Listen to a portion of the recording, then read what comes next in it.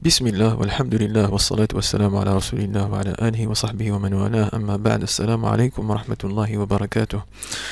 Alors j'ai décidé d'entamer cette euh, vidéo que j'ai nommée Analyse, comment analyser un scanner du rocher. Alors cette vidéo est destinée principalement à deux catégories de, de, de personnes. Principalement aux résidents en radiologie qui désirent s'initier dans le domaine de l'ORL et commencer par le rocher, car je sais qu'ils n'ont pas que ça à faire.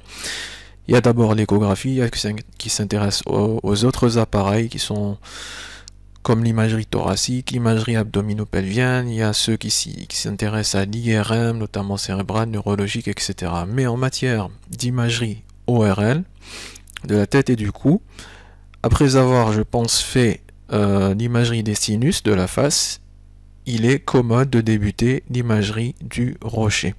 Et les gens généralement appréhendent ce,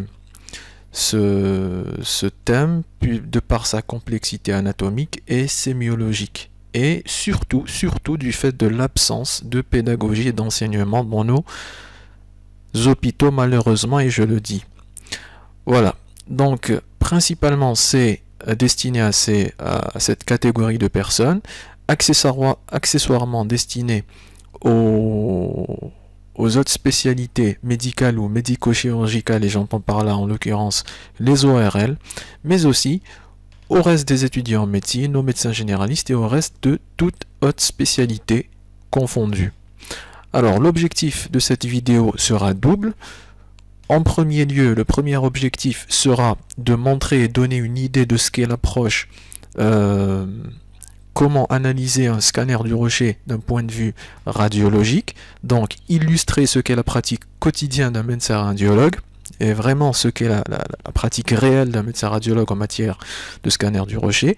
Et le deuxième objectif à atteindre, c'est de faire une récapitulation, un résumé de ce qu'est la radioanatomie euh, du rocher et de revoir et de mettre en application toute la théorie qu'on a vue jusque-là dans les vidéos précédentes euh, qui traitait de l'oreille externe, de l'oreille interne, de l'oreille moyenne et de l'anatomie de l'os temporal dans sa globalité. Je vous invite d'ailleurs à ceux qui n'ont pas, j'invite d'ailleurs à ceux qui n'ont pas vu ces vidéos à les regarder avant de regarder cette vidéo, puisque cette vidéo n'est qu'une euh, synthèse de tout ce que tout ce dont j'ai parlé dans les vidéos précédentes et ça nous permettra aussi de mettre le point sur les structures anatomiques essentielles, clés est principale dans euh, l'exploration d'un rocher.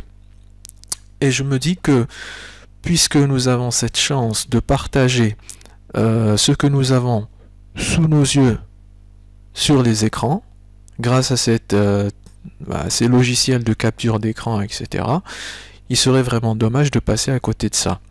Et je me dis que l'enseignement, on, est en 2020, devrait passer par, ces, par ce genre de procédures et de procédés, puisque euh, normalement on devrait en finir avec ces planches anatomiques, euh, ces centaines de planches anatomiques illustrées par des flèches, etc. C'est non seulement ennuyeux, en plus c'est barbant et c'est lassant.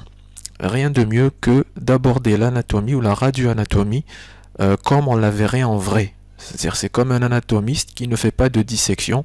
Il y a pas de c'est pas c'est pas sur des bouquins qu'il va apprendre l'anatomie. Idem pour la radioanatomie, c'est pas sur des planches illustratives qu'on va apprendre euh, la radioanatomie. Donc je vais commencer par désolé pour cette longue introduction. Cette vidéo prendra le temps qu'il faudra car je vais m'attarder sur l'explication de certains points, c'est ce qui prend le, plus de temps. Donc si vous voyez que la, vidéo dure une demi-heure ou une heure ou une heure trente, bon si je vois que c'est trop long, je vais la diviser en plusieurs euh, parties. Sinon, ben, c'est ça l'anatomie, c'est ça l'approche radiologique. Alors on va commencer. Alors, ce qu'il faut savoir, c'est que lorsque le manipulateur pratique un examen euh, des rochers, un scanner des rochers, c'est le volume que vous aurez. Donc vous aurez une partie du crâne, de la base du crâne, avec d'une part le rocher droit et d'autre part le rocher gauche. Alors moi, ce qu'il faut faire, enfin pas moi, Mais ce qu'il faut faire, c'est de demander au manipulateur de faire des reconstructions sur chaque rocher isolément, histoire d'optimiser l'espace qu'on a et de concentrer les pixels de notre écran sur cette image au lieu de, euh, de zoomer sur chaque rocher, analyser chaque rocher isolément. Donc moi, ce que je fais, j'ai demandé à mon manipulateur de me faire deux reconstructions centrées sur chaque rocher, et là j'obtiens deux autres volumes que je peux ouvrir séparément. Et là ça me donne ça. D'un côté le rocher droit, et d'un autre le rocher gauche que je peux visualiser séparément, sans avoir à zoomer. Maintenant si je veux zoomer, je peux zoomer sur les reconstructions du rocher droit isolé, ça va optimiser la qualité de mon image. Donc voilà pour ce qui était des reconstructions qui sont très importantes dans euh, l'analyse du rocher. Ça, c'est la première des choses à faire. La seconde chose à faire, c'est de bien régler son fenêtrage. Alors, le fenêtrage optimal du rocher, bon, chacun comment euh, il règle, mais le fenêtrage optimal, c'est environ une fenêtre de 2800, 600, ou comme là, 2700, 700, c'est-à-dire une largeur de 2800 et une, euh, un centre, un niveau de, de 700 ou 600. Et ça vous obtient, on obtient des images de telle sorte à ce que le contraste puisse offrir une, bonne individualisation de l'os spongieux, de l'os cortical, euh, des cavités aériennes, du comblement liquidien, des structures liquidiennes et même des structures ossiculaires. Donc ça, c'est le réglage optimal du fenêtrage dans l'étude du rocher. Ensuite, la troisième chose à faire, c'est bien évidemment le plan d'étude, c'est-à-dire le plan d'analyse qui, je l'ai dit sur les précédentes vidéos, qu'il fallait choisir le plan qui passe par le canal circulaire latéral, histoire d'avoir l'aspect, le fameux aspect, le classique aspect en bagage à temps. Ici, est-ce que c'est le cas? Non, c'est pas le cas puisque je n'arrive pas à voir le canal semi-circulaire sur toute sa circonférence. Donc, qu'est-ce que je vais faire? Je vais impérativement passer, devoir passer au mode MPR. Le mode MPR, c'est le Multiplanar Reconstruction. Donc, je passe au mode MPR et j'ai ce tas d'images. Et ces images, c'est quoi? C'est les différents plans de l'espace. Ici, c'est le plan coronal. Ici, c'est le plan axial ou transversal, et ici c'est le plan sagittal ou euh, de profil. Alors, comment obtenir un plan axial qui passe par le canal semi-circulaire latéral? D'abord, je vais prendre le, plan frontal ou le plan coronal, je vais repérer le canal semi-circulaire latéral qui est ici. Je le vois ici. Ça, c'est le canal semi-circulaire latéral que je vois à ce niveau. Donc, qu'est-ce que je vais faire? Je vais placer mon, euh, mes coupes sur ce canal semi-circulaire latéral. Vous voyez que ici le canal est oblique par rapport à mon plan de coupe. Donc qu'est-ce que je vais faire? Je vais tourner légèrement mon plan de coupe de sorte à ce qu'il passe par le canal semi-circulaire latéral. Ça c'est sur le plan coronal. Maintenant je vais passer par le plan sagittal. Je vais repérer mon canal semi-circulaire sur le plan sagittal et je vais devoir positionner mon plan de coupe sur ce canal semi-circulaire latéral. Et donc, qu'est-ce que je fais? Je viens ici et je me positionne sur le canal semi-circulaire latéral en coupe sagittale et en coupe pour qu'au final, j'ai sur le plan axial cette image qui passe par le canal semi-circulaire latéral et qui me donne le classique aspect en bague à chaton. Donc ici, vous voyez que je suis sur le plan de coupe qui me permet, qui me permet d'explorer correctement et dans les conditions euh, conventionnelles mon scanner du rocher. Alors la première des choses à analyser en scanner du rocher, c'est le conduit auditif externe. le conduit auditif externe est un conduit, est un canal qui est ouvert en extérieur, qui est fermé en interne et qui est constitué de ces deux tiers externes cartilagineux entourés de cartilage et de deux, du tiers interne qui est osseux et qui est entouré d'os. Ici, le conduit auditif externe est libre, il est bien ouvert, il n'y a pas de malformation au niveau du conduit auditif externe jusqu'au niveau de la membrane tympanique qu'on arrive à distinguer et à visualiser ici euh, de manière nette. Ensuite, la meilleure façon d'explorer le conduit auditif externe, c'est le plan sagittal. Et sur le plan sagittal, qu'est-ce qu'on a? On a le pavillon de l'oreille. Et ensuite, plus on progresse en dedans, en suivant la clarté, l'air aérique du conduit auditif externe, on voit sa portion membraneuse qui petit à petit pénètre dans la paroi, dans sa partie osseuse, entourée ici par l'os tympanal qui va former la paroi antérieure, le plancher, la paroi postérieure du conduit auditif externe, jusqu'à pénétrer dans l'oreille moyenne. Et on signale ici, en guise de remarque, l'articulation temporomandibulaire qui est situé juste en avant du conduit auditif externe et qui peut nous servir d'orientation si par exemple sur les coupes de profil vous ne savez plus où est l'arrière, où est l'avant. En arrière on a toujours les cellules mastoïdiennes et en avant on a toujours l'ATM, l'articulation temporomandibulaire. Donc le conduit auditif externe est sans anomalie, il n'y a pas d'atrésie, il n'y a pas d'ostéome, il n'y a pas d'épaississement suspect. Vous voyez très bien que c'est fin, tout est fin, il n'y a pas d'épaississement muqueux, il n'y a pas de saillie osseuse, il n'y a pas euh, de rétrécissement de la lumière ou, de trucs de ce genre. Ensuite, la deuxième, la deuxième étape à faire dans l'analyse du scanner du rocher, c'est d'évaluer, d'examiner l'oreille moyenne. Alors, Qu'est-ce que l'oreille moyenne On avait dit que c'était cet espace qui était limité entre, euh, sur les coupes coronales, sur cette coupe coronale ou frontale, qui était limité entre la membrane tympanique qui est parfaitement visible sur cet examen. D'ailleurs, c'est pourquoi j'ai choisi cet examen en guise de repère anatomique. Donc la membrane tympanique qui est tendue entre, le scutum et euh, l'annulus euh, tympanique en bas et le scutum en haut. Et c'est tout cet espace qui est limité entre la membrane tympanique et la paroi externe de l'oreille interne, c'est-à-dire que euh, le labyrinthe osseux.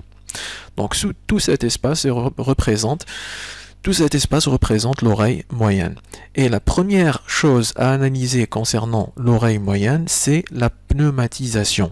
Est-ce que la cavité automastoïdienne. D'ailleurs, on parle de cavité automastoïdienne. Pourquoi? Parce que non seulement on va explorer la cavité otique, c'est-à-dire l'oreille moyenne, mais aussi les cavités mastoïdiennes, c'est-à-dire les cellules mastoïdiennes. Là, je vais défiler de haut en bas ou de bas en haut. Je vais défiler de bas en haut. J'ai les cellules mastoïdiennes périphériques. Ensuite, je remonte, je remonte. Ici, j'ai euh, mon oreille moyenne qui est limitée entre la membrane tympanique ici la membrane tympanique et le rebord osseux, la paroi osseuse de l'oreille interne. Puis je remonte, j'ai toujours euh, l'oreille moyenne qui est bien pneumatisée, bien pneumatisée avec les structures ossiculaires en leur sein. Elle est toujours bien pneumatisée, bien pneumatisée. Et ici, nous avons, je suis dans l'épitympan, et je rappelle que l'épitympan c'est quoi? C'est la partie supérieure de l'oreille moyenne, c'est-à-dire celle qui est étendue est étendu entre le scutum et euh, le, canal semi-circulaire, le plan du canal semi-circulaire latéral. Donc, ici au niveau de l'épitympan, j'ai l'articulation incudo-maléaire avec l'épitympan et un petit rétrécissement de cette cavité qu'on appelle l'aditus adentrum puisqu'il va donner sur cette grande cavité euh, dont la mastoïde, creusée dans la mastoïde, qu'on appelle l'antre mastoïdienne. Alors, cette association épitympan et entre mastoïdienne passant par l'aditus adentrum donne, va donner un aspect particulier, un aspect caractéristique en 8 de l'épitympan et de l'antre mastoïdienne. Alors cet aspect en 8, je le rappelle, il faudra toujours le rechercher puisque en cas de cholestéatome et en cas d'érosion des euh, parois euh, mastoïdiennes ou des parois épitympaniques, on aura une perte de cet aspect en 8 de l'épitympan qui communique avec l'antre mastoïdienne. Je remarque également que en plus de la bonne pneumatisation de ces structures, je remarque que les cellules mastoïdiennes centrales, ce qu'on appelle centrales, c'est les cellules mastoïdiennes qui entourent directement l'antre mastoïdienne. Donc les cellules mastoïdiennes centrales sont bien pneumatisées et les cellules mastoïdiennes périphériques, c'est-à-dire celles qui sont en périphérie, en contact de la corticale osseuse, sont aussi bien pneumatisé, bien développé. Alors pourquoi je dis bien pneumatisé, bien développé Parce qu'en fait, en matière de mastoïde, il y a trois types de mastoïdes. Il y a la mastoïde bien pneumatisée comme c'est le cas ici. Il y a la mastoïde hyper pneumatisée lorsque la pneumatisation dépasse le bord supérieur du sinus sigmoïde le bord postérieur pardon, du sinus sigmoïde. Donc ça, c'est les degrés de pneumatisation. Ici, elle est normalement et bien pneumatisée. Il y a la mastoïde qui est faiblement ou partiellement pneumatisée avec de l'os qui ressemble à l'os spongieux qu'on retrouve ici dans, le condyle mandibulaire ou dans le reste de la médulaire de la base du crâne, ici comme dans, le clivus, etc. C'est-à-dire que ça a un aspect spongieux, donc on va appeler ça, on va l'appeler mastoïde diploïque.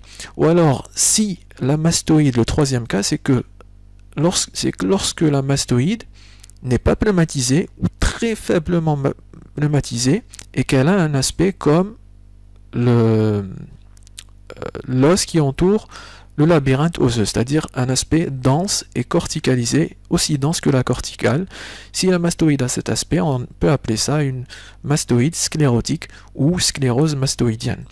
Et le degré de cette pneumatisation va en fait dépendre de plusieurs facteurs, dont le facteur génétique, mais surtout les antécédents du patient. Lorsque c'est un patient qui a eu pendant son enfance des pathologies de la trempe de stage, c'est-à-dire des obstructions ou des otites séromuqueuses à répétition ou des otites infectieuses à répétition, on aura avec la croissance une faible pneumatisation, voire une sclérose mastoïdienne, vers, voire une mastoïde diploïque d'un côté ou dans l'autre. Et c'est pourquoi parfois on retrouve une sclérose mastoïdienne euh, d'un côté et une bonne pneumatisation mastoïdienne dans l'autre. Pourquoi? Pour la simple raison que le patient avait faisait plus d'otite d'un côté plutôt que dans l'autre. Donc, question euh, pour ce qui est de la pneumatisation des cavités automastoïdiennes, elle est parfaite sur cet examen. Une fois avoir examiné euh, la pneumatisation, la qualité de pneumatisation des cavités automastoïdiennes, c'est-à-dire qu'on s'est assuré qu'il n'y avait pas de comblement des cavités automastoïdiennes. Là, on va passer à l'analyse de l'oreille moyenne avec ses propres compartiments, c'est-à-dire le contenant puis le contenu. Et comme dans les séries vidéo théoriques que j'avais faites sur la radioanatomie utile de l'oreille moyenne, je vais procéder par la même méthodologie, c'est-à-dire que je vais commencer par le contenant, par décrire les parois. J'avais dit que l'oreille moyenne avait six parois. On va commencer par la paroi latérale. Ici sur le plan coronal, on arrive à distinguer la paroi, l'oreille moyenne, qui est entre la cavité, la membrane tympanique et la paroi externe de l'oreille interne. Ici, sur la paroi latérale, on avait dit qu'elle était divisé en deux parties. Une partie, les deux tiers inférieurs qui étaient euh, représentés par la membrane tympanique, et le tiers supérieur ou la moitié supérieure qui était représenté par une structure osseuse qu'on appelait le mur de la logette et qui se terminait en pointant vers le bas par une épine pointue vers le bas qu'on devrait analyser systématiquement puisque elle s'appelle le scutum ou le scutum et ce scutum est la première structure à être érodée lorsqu'on a une invagination de la pars flaccida de la membrane tympanique dans cet espace, dans cet espace qu'on appelle l'espace de Prussac.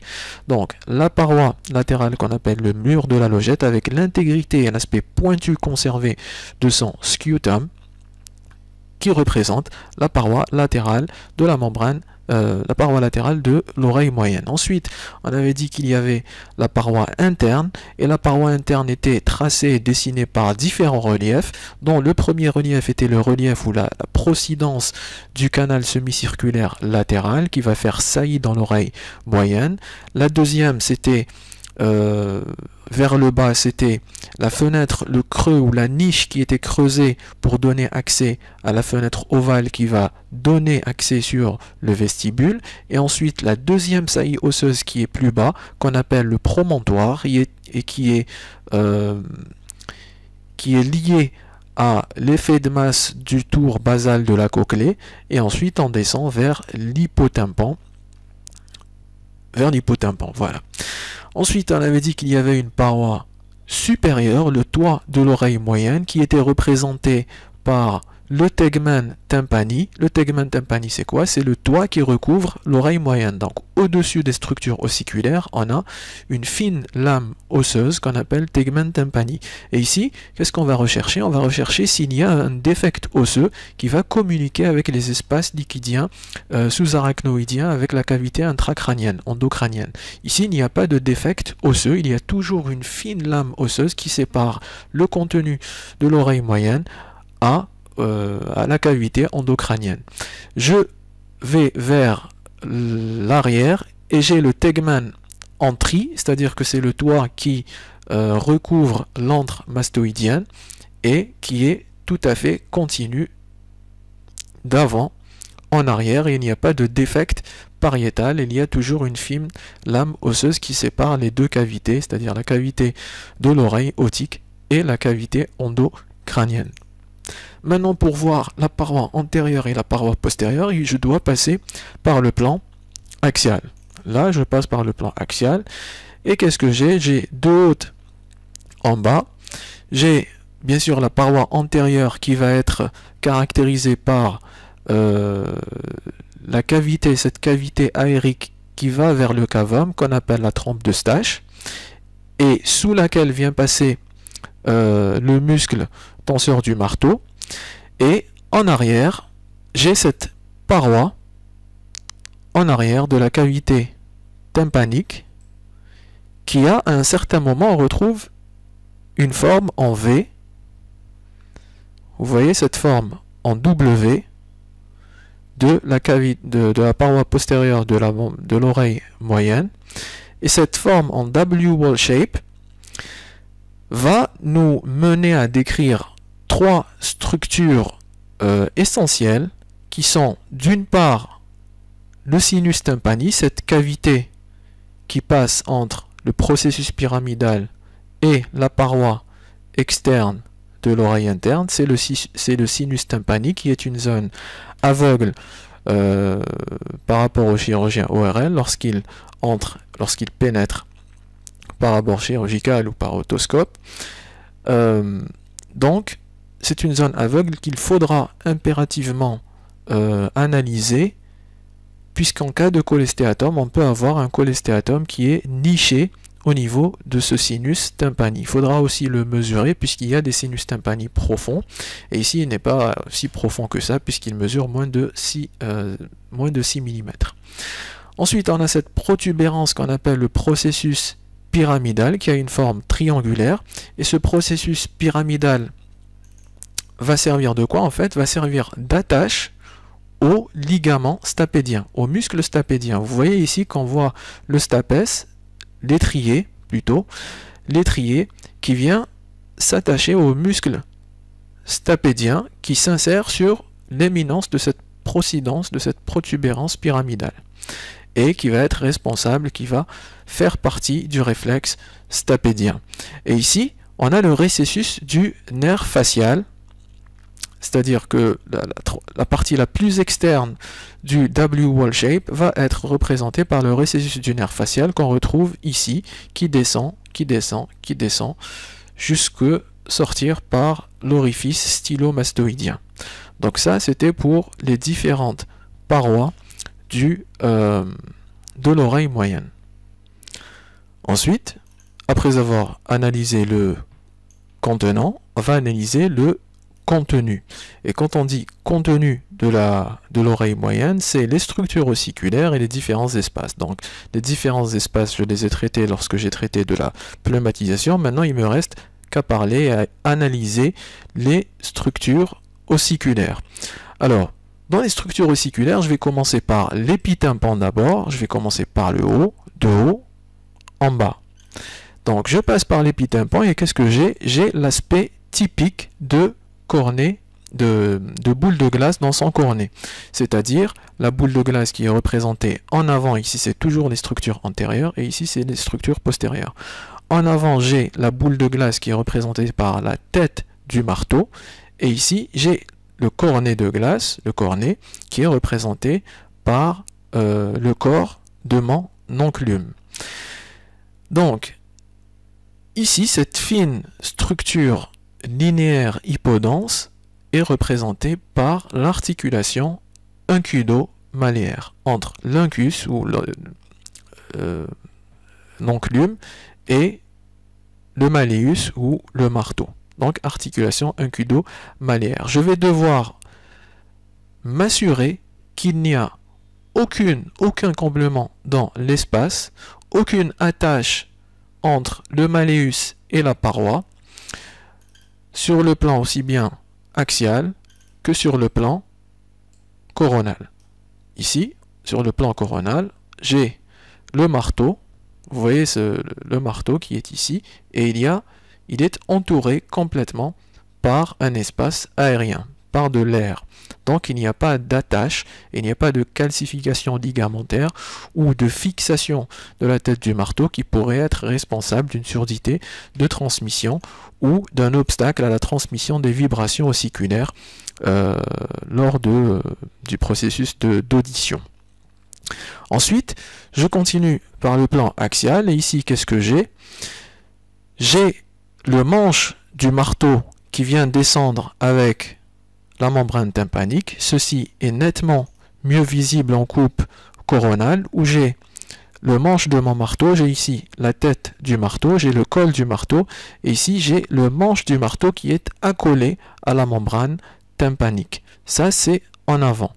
En arrière, j'ai l'enclume qui a la forme d'un L. Mais sur le plan axial, il a une toute autre forme. Il a d'abord un corps de l'enclume qui s'articule avec la tête du malleus. Il a un processus qui va en arrière qu'on appelle le petit processus ou la courte apophyse de l'enclume. Puis je descends vers le bas. J'ai la longue apophyse de l'enclume.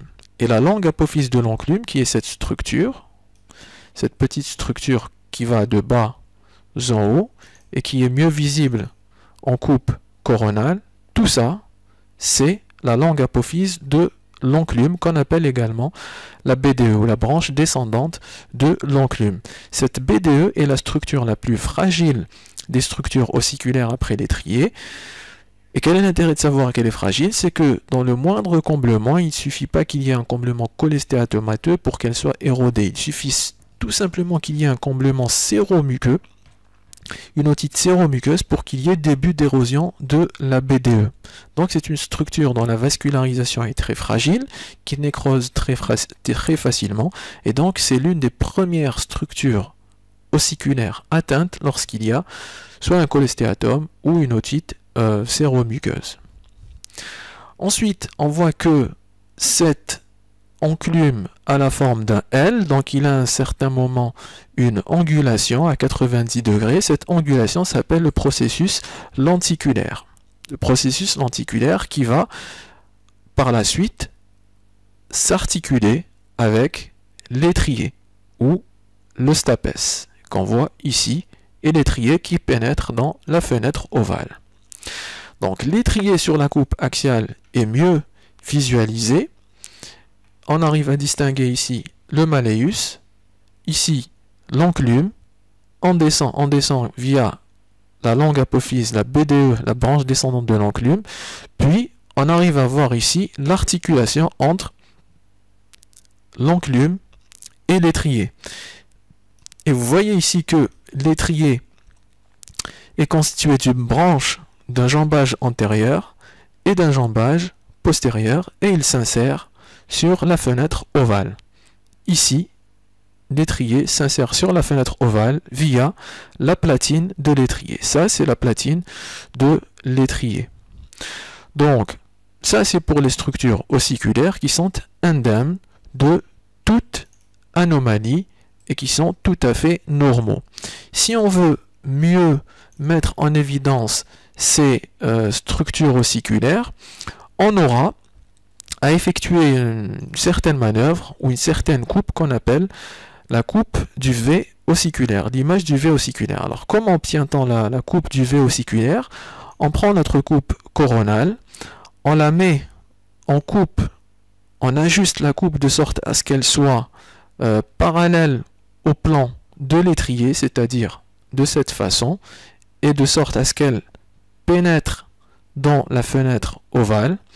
Puis, on prend la coupe euh, de profil ou sagittale, on prend cette image, on fait un MIP de 2,5 mm et on applique le mode MIP et on a cette image de V ossiculaire avec, on voit nettement l'articulation un cudo maléaire avec le marteau sous toute sa forme et l'enclume sous toute sa forme également avec la courte apophyse, le corps de l'enclume et la longue apophyse avec l'articulation un cudo stapédienne.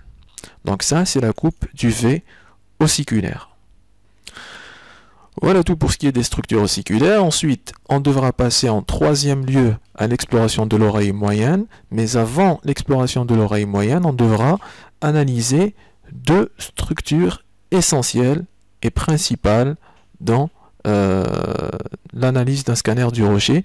Ces différentes structures, ce sont la fenêtre ovale qu'on voit à ce niveau, ici, qui donne sur le vestibule et qui est sur laquelle s'insère la platine, cette fine lame qui mesure moins de 0,8 mm et qui est très fine, en avant de laquelle on retrouve la fissula antefenestram qui est le siège électif des autospongioses des foyers d'autospongiose et ici il n'y a pas d'épaississement de la lame de la platine de l'étrier. Ici la fenêtre ovale qu'on devra mesurer sur le plan coronal et dont on devra s'assurer qu'il n'y a pas de sténose euh, de la fenêtre ovale, son diamètre devra être de euh, supérieur à 1,1 Ici, il est de 1,4 mm. Donc, il n'y a pas de sténose de la fenêtre ovale. Juste en dessous de la fenêtre ovale, on devra s'assurer de l'intégrité de la fenêtre ronde. Ici également, la fenêtre ronde, on devra la mesurer, elle devra être, devra être supérieure à 1,3 mm, ici elle est à 1,6 et on pourra l'explorer aussi bien sur le plan coronal que sur le plan axial. Sur le plan axial, on devra descendre un peu plus bas pour voir cette fenêtre ronde qui, a un aspect euh, de niveau hydroaérique inversé avec le liquide qui est dans le tour basal de la cochlée et l'air qui est dans la niche, cette niche de la fenêtre ronde. Donc on devra analyser impérativement ces deux structures euh, essentielles lors de l'exploration de l'oreille moyenne à la recherche d'un comblement, d'une oblitération, euh, d'une malformation, d'une sténose, d'une agénésie, etc., notamment pour les chirurgies du cholestéatome ou de l'autospongiose principalement. Arrivons maintenant à l'exploration de l'oreille interne, c'est-à-dire les labyrinthes osseux principalement, puisque le labyrinthe membraneux n'est généralement pas explorable en scanner, et euh, bon, en IRM on commence à y arriver. Alors, pour ce qui est du, euh, de l'oreille interne, on avait dit qu'elle était constituée des canaux de l'équilibre, de l'organe de l'équilibre qui était constitué par le vestibule au centre et des canaux semi-circulaires latéraux, supérieurs et postérieurs. On va commencer par le vestibule. Alors le vestibule, il a la particularité d'être en contact et d'avoir une fenêtre via la fenêtre ovale avec euh, l'oreille moyenne, c'est-à-dire qu'il communique avec l'oreille moyenne via la fenêtre ovale sur laquelle vient s'insérer, qui va être comblée par la platine de l'étrier, comme on peut le voir sur cette image. Alors, comme je l'ai dit euh, tout à l'heure, il faudra toujours, en s'aidant d'un fenêtrage adéquat, on modifie un peu le fenêtrage, il ne faut pas faire ce fenêtrage, ni ça, ni ça, il faudra faire un fenêtrage adéquat, histoire de voir la moindre modification de la densité au niveau de cette région qu'on appelle la fissula antefenestram, qui est le siège électif des autospongioses. Donc ici, on n'a pas de modification de la densité osseuse, donc pas de foyer autospongiose potentiel. En tout cas, pas scanographiquement décelable, du moins pas sur celui-là. Ensuite, on devra explorer l'ensemble du, euh, de l'os du labyrinthe osseux, l'ensemble de l'environnement osseux du labyrinthe. Ici et voir si les structures osseuses sont homogènes à la recherche d'un autre foyer d'autospongiose type 4A ou type 4B, notamment autour de la cochlée. Donc ici, l'os est intègre et il n'y a pas d'anomalie de, de densité osseuse. Très bien. Ensuite, une fois qu'on aura exploré tout ça pour éliminer une autospongiose, on va explorer organe par organe les différentes structures du labyrinthe osseux qui sont en fait les éléments de l'oreille interne. Qu'est-ce qu'on va faire? On va d'abord éliminer, on va d'abord examiner ou analyser les canaux semi-circulaires, en commençant par le canal semi-circulaire latéral dont le diamètre doit être supérieur à 1,4, doit être inférieur à 1,7 mm au niveau de la région préampulaire. C'est-à-dire qu'on ne va pas mesurer au niveau de l'ampoule, mais en préampulaire, puisque l'ampoule est toujours augmentée de calibre. On va aussi mesurer la circonférence qui est entourée, euh, le canal semi-circulaire latéral, qui, qui devra être euh, supérieur à 6 mm carrés. Ensuite, on va voir sur les coupes coronales, et c'est important de le mentionner, s'il n'y a pas de communication du canal semi-circulaire latéral avec la lumière ou avec un comblement éventuel de l'oreille moyenne, auquel cas on parlerait d'une fistule labyrinthique. S'il y a une bulle d'air ou il y a une communication entre la densité intralabyrinthique avec l'oreille moyenne ou un comblement de l'oreille moyenne, on parlera automatiquement d'une fistule labyrinthique. Ici, ce n'est pas le cas puisqu'il n'y a aucune communication, aucune communication avec l'oreille moyenne et on a toujours le canal semi-circulaire qui est séparé de l'oreille moyenne par une coque osseuse. Ensuite, on va explorer le canal semi-circulaire postérieur. Ici, c'est le canal semi-circulaire postérieur. Pourquoi? Pour la simple raison que c'est la structure la plus postérieure des canaux semi-circulaires. On l'analyse jusqu'à sa partie inférieure, puis on va en remontant, et ici elle est tout à fait normale, avec un calibre qui est tout à fait euh, normal. Ensuite, on va continuer à enchaîner par l'exploration du canal semi-circulaire supérieur. Pourquoi supérieur? Parce que c'est la, structure la plus haute des canaux semi-circulaires euh, du labyrinthe osseux. Donc ici également, elles sont, elle est sans anomalie, elle est de calibre normal. Ensuite, j'ai le vestibule à ce niveau, qui est tout à fait normal. Et ensuite, je vais passer à l'exploration de la structure labyrinthique la plus antérieure, ce qu'on appelle le labyrinthe antérieur, puisqu'il est, il regarde vers le cavum, vers l'antérieur, vers l'avant, et qu'on appelle la cochlée. Cette cochlée est analysée sur le plan axial et va donner l'image en trèfle classique et elle peut être analysée en coupe coronale donnant l'aspect de limaçon cochléaire ou l'aspect en, snake eyes qui sont les snake eyes les yeux de serpent qui sont représentés par les deux portions euh, labyrinthiques et tympanique du 7 du, mus, du, nerf facial. Bon, après on va revenir au nerf facial. Ici ça va, ça a un aspect de limaçon cochléaire.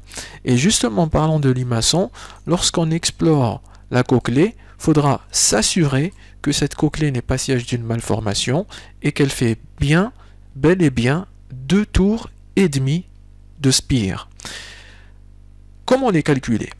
Bon, ici on a le tour le plus basal, le plus gros, qu'on appelle le tour basal de la cochlée. Et on voit bien ici la lame spirale qui va séparer la rampe tympanique, la rampe vestibulaire de la rampe tympanique. Ici, c'est le tour basal. Donc, on a un tour de spire de cochlée.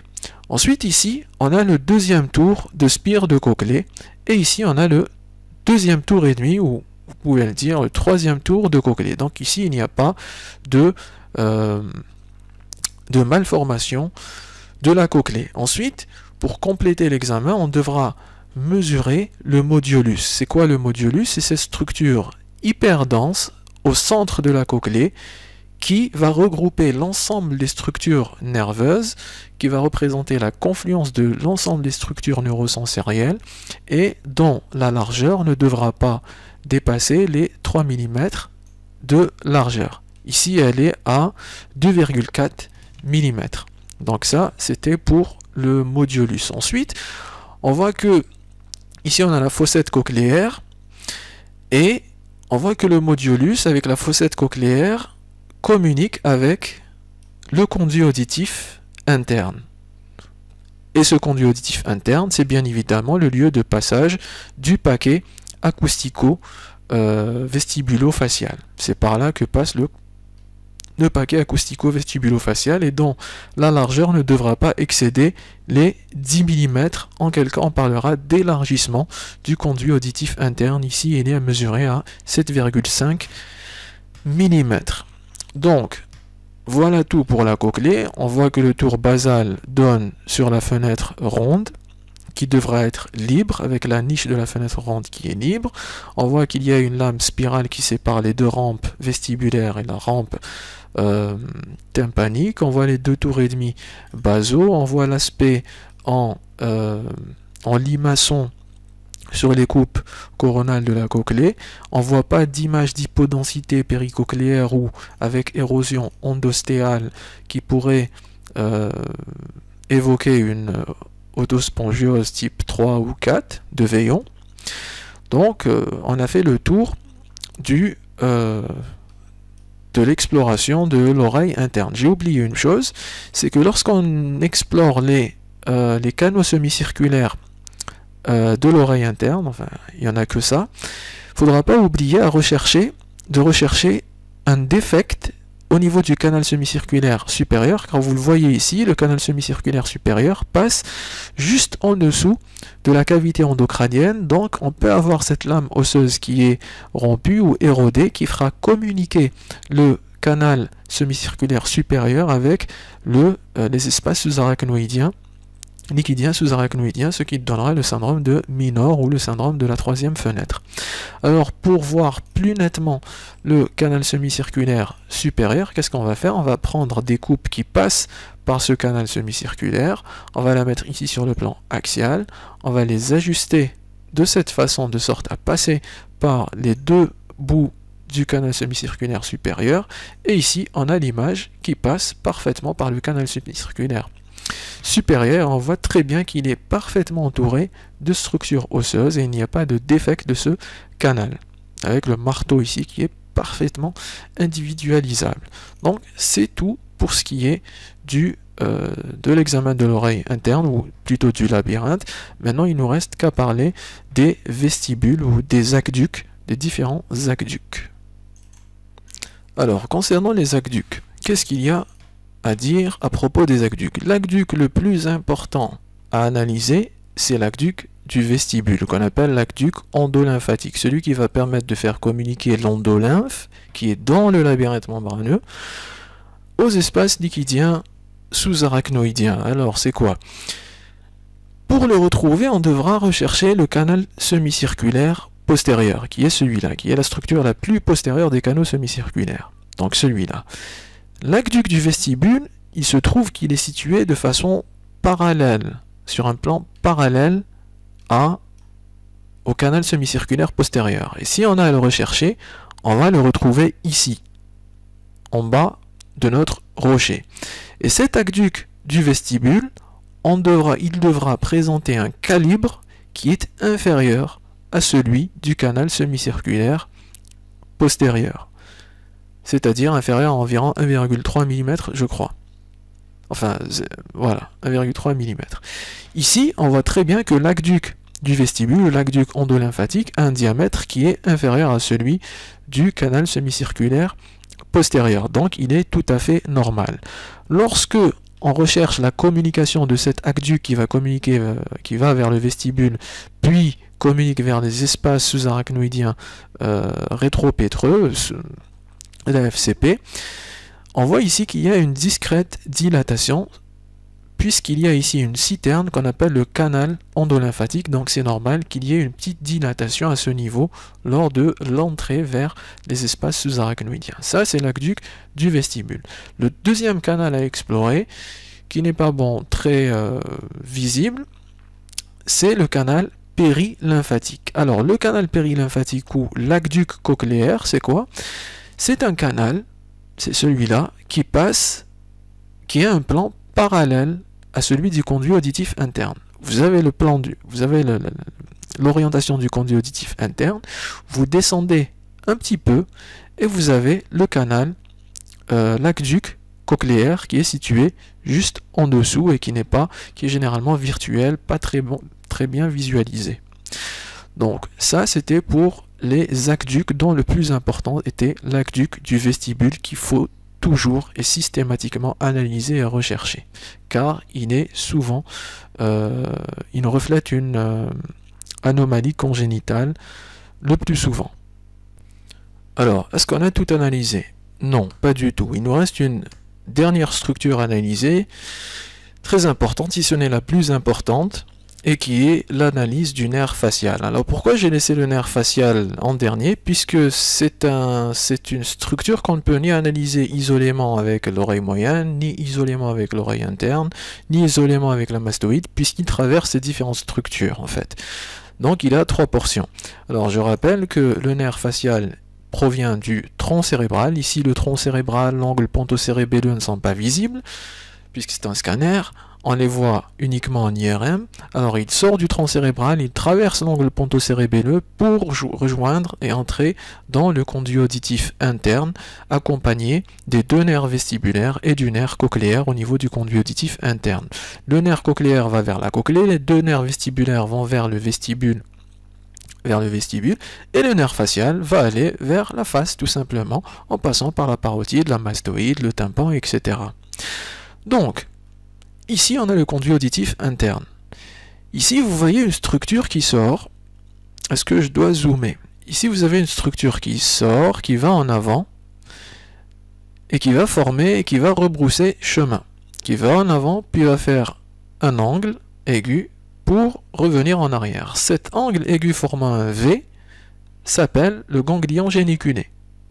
Alors, en, avant de en amont de ce ganglion géniculé, le 7 est appelé le 7-1, ou alors la portion labyrinthique du nerf facial, puisqu'il passe par le labyrinthe osseux, et en aval de, du ganglion géniculé, il porte le nom de cette de la deuxième portion du facial, qui est en fait la portion labyrinthique. Et pourquoi on appelait ça la portion, enfin pas la portion labyrinthique, pardon, le 7-2 ou la portion tympanique? Pourquoi on l'appelait portion tympanique?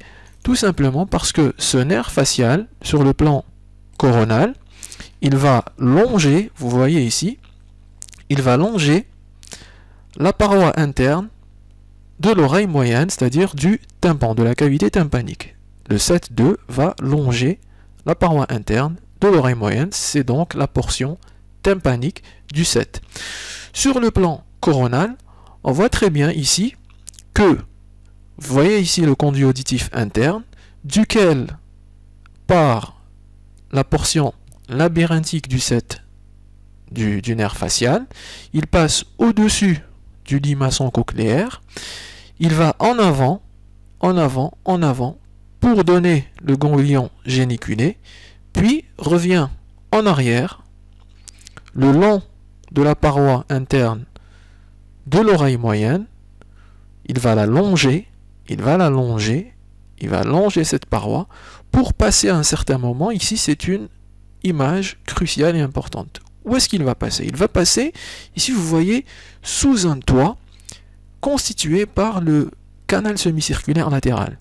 Donc, le nerf facial ici, que vous voyez, va passer en dessous du canal semi-circulaire latéral. Et là, il faudra préciser, est-ce que le nerf facial est latéralisé par rapport au canal semi-circulaire latéral Est-ce qu'il est médialisé Ou est-ce qu'il est, chose la plus importante, est-ce qu'il est procident C'est-à-dire, est-ce qu'il recouvre l'accès à la fenêtre ovale?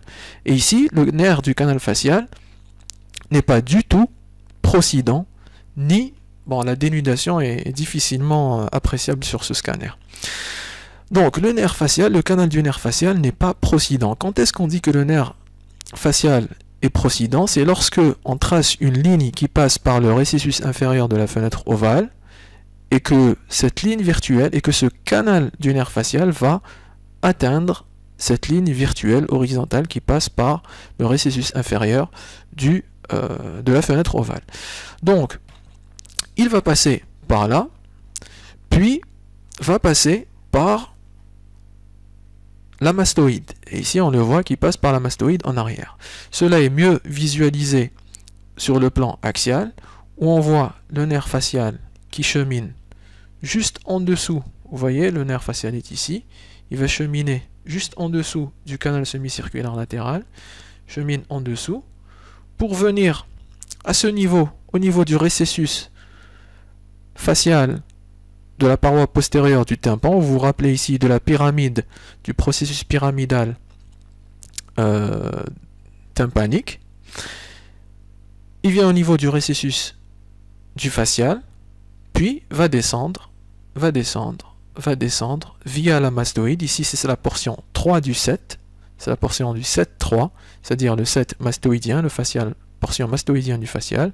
Puis il va descendre, descendre, descendre, jusqu'à s'ouvrir et sortir par ce trou qu'on appelle le foramen stylo-mastoïdien qu'on arrive mieux à distinguer sur les coupes sagittales, ici, où il y a le foramen stylo-mastoïdien, entre la mastoïde et le processus styloïde et la mastoïde. Si je voulais mieux mettre en évidence ce nerf facial, je pourrais faire une coupe qui passe par le nerf facial.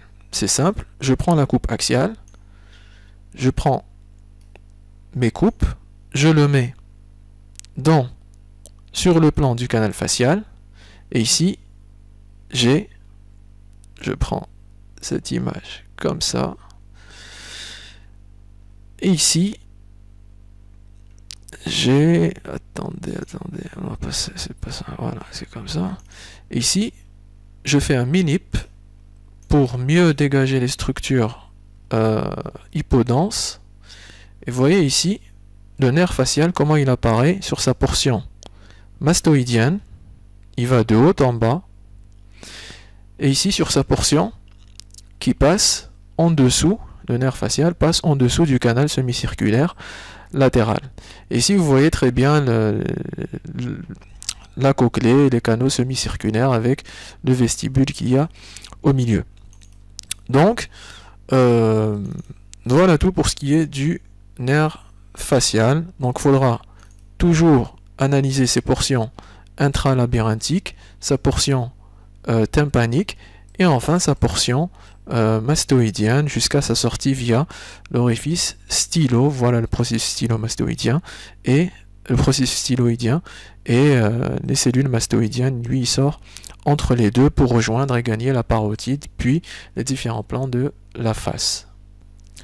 Voilà tout pour ce qui est de l'exploration radiologique euh, scanographique euh, d'un rocher. Et je pense on fera la même chose pour ce qui est du rocher gauche. Donc toutes les étapes qu'on a faites ici sur le rocher droit, on les fera sur le rocher gauche. Et bien sûr, on parlera des, j'ai pas parlé ici des variantes anatomiques telles que on devra rechercher une procidence du, sinus sigmoïde, une position haute du bulbe de la jugulaire, où est la, la, jugulaire euh, Une position haute du bulbe de la jugulaire, une procidence euh, tympanique, une déhiscence tympanique de la jugulaire par exemple, on devra rechercher toutes ces variantes de la normale à risque chirurgical bien sûr une hyperplématisation des, des, cellules mastoïdiennes, etc. Hmm, voilà. Donc, je pense que toutes ces, enfin, toutes ces étapes analytiques devront passer devront être reproduites sur le rocher gauche.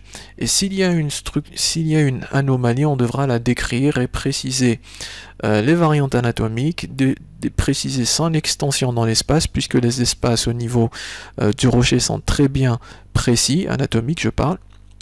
Et euh, faudra évidemment être systématisé dans son approche Ça, c'était ma propre approche. C'est comme ça que j'analyse un scanner du rocher. En fait, chacun sa, sa méthodologie, chacun son approche. Et il faudra garder en tête les différentes normes anatomiques, euh, comment calculer, quelles sont les normes, euh, quels sont les risques. Il euh, faudra tout faire ça à la fois. Et ça nécessite de l'entraînement, c'est pas quelque chose de difficile.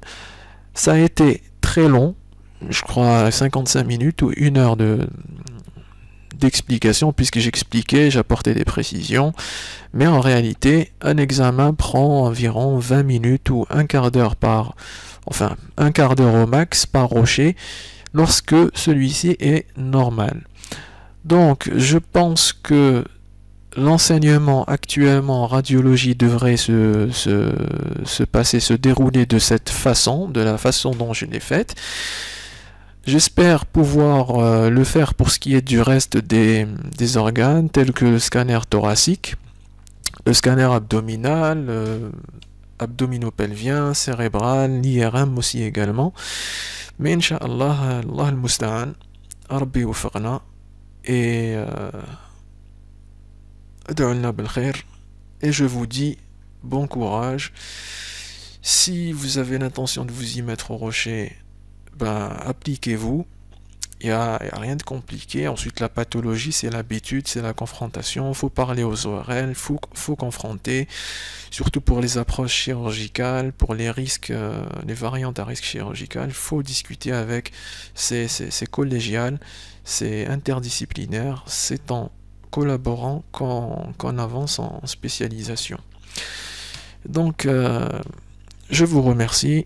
والحمد لله الذي وفقني على إتمام هذا هذا العمل والسلام عليكم ورحمة الله